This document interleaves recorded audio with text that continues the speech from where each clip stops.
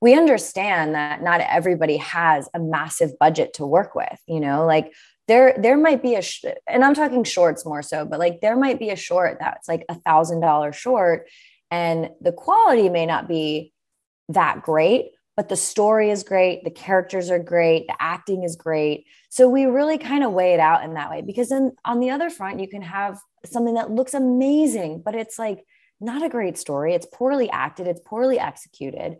And so we really kind of have to like check ourselves and remember that these a lot of these are emerging filmmakers and they don't necessarily have the means to hire an amazing dp who can make it look amazing for a thousand bucks you know? Mm-hmm. um, they don't have the resources. But i think as far as features go we it, it's stuff that moves us. It's stuff that really makes us feel something and feel like it's entertaining or you know it's a great story